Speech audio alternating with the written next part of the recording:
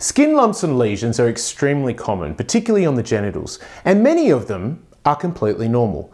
But how can you tell for sure? Stick around to listen and learn.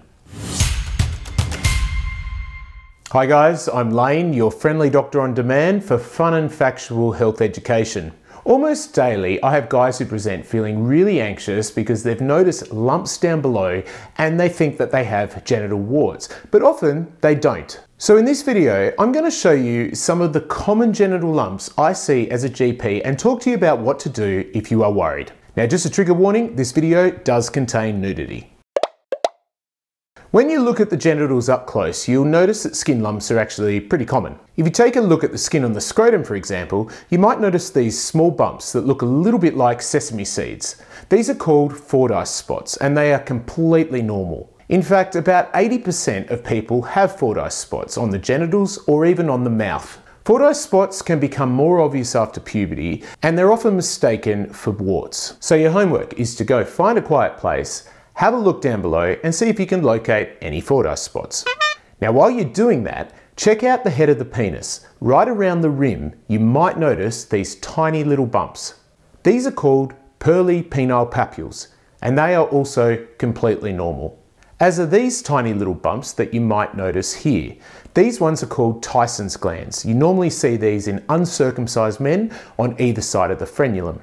So there you have it, three common types of genital lumps that are completely harmless. But what about these? Or these?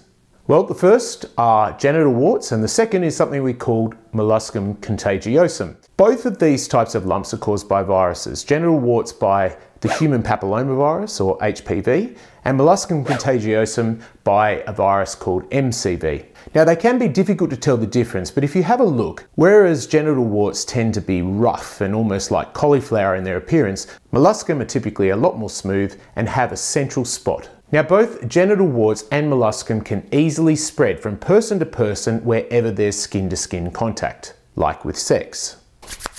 And then we have these lumps, which are red and slightly raised. This could be herpes, but it's more likely to be what we call folliculitis, or inflammation of the hair follicles. This is very commonly seen in people who shave their pubic hair because the short hairs can become ingrown and then the follicles can become red and inflamed. And finally, there's this. Now you might struggle to see it on the photo, but if you look closely, you might see this raised lump just here. This is what we call a lymphocele. It feels firm and rubbery. Lymphoceles are commonly caused by friction, for example, from having sex, and they can be tender. But the good news is they normally just go away on their own. So all that said, what do you do if you notice a lump on your genitals? Well, the most important thing as always, is to go and get it checked. Now, this video is not intended to replace independent medical advice, but more so to demonstrate that genital lumps are extremely common. As doctors, we can normally give you a diagnosis on the spot just from looking at the lump. Now, if you do discover that you have genital warts, don't panic. These are very common and they can be treated. Your GP should be able to talk through all the different options with you, um, which might include some creams or trying something called cryotherapy, which is essentially freezing them off with liquid nitrogen.